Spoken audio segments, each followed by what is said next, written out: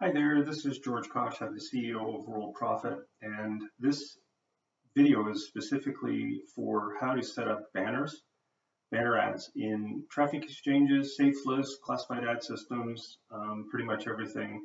Uh, they all follow the same sort of pattern, and you're receiving this video either because you've asked how to put up a banner, or you've made a mistake and you've gotten a banner decline message. Um, let me show you the proper way to do it, and uh, hopefully this will help. So you can see I have some banner ads that I can set up. So I'm going to just click on setup. And I just want you to look at these three fields. Um, it's giving a field for the banner name, the image URL, and the target URL. So what I want you to focus on is you don't put code in here at all. You simply put in URLs. And by that I mean this. If I go back to our banner area here at World Profit, there's three different fields here. Um, somebody might require code for the banner.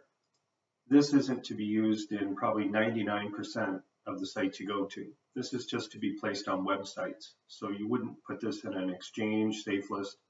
You would add this to a website, a blog, or something like that. The, these are the ones that I want you to look at here is the image URL. This is the URL that is going to pull up an image. So if I was to go to this URL, you'll see it's just pulling up an image on a black background. If I go to this link, this is the target URL. This means this is the URL that you're going to go to if somebody clicks on the banner. As you can see, it goes to a site. Great. So what we want to do is we want to take the target or the image URL and copy that to our clipboard. You'll notice this is only a URL. There are no hyphens or sorry, no commas, apostrophes, nothing in this. Doesn't look like this at all, which the href and the image tag and all that, it's just simply a URL. So we go into the tra traffic center and we give it a banner name. And let's just call this my banner. This is put in anything you want. The image URL, we're going to paste that in. And then the target URL, again, is when somebody clicks on that image, which You've seen banners like up here, traffic ad bar. If I click on that, it's going to go somewhere. Well, this is the important one. This should be a link that you want them to go to, like an affiliate link. So if I go over here, World Profit has already set these up perfectly for me with my ID. So I'm going to copy. I go in here, and I'm going to paste. Then we can preview it.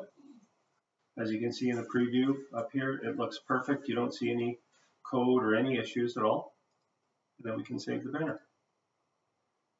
That's it.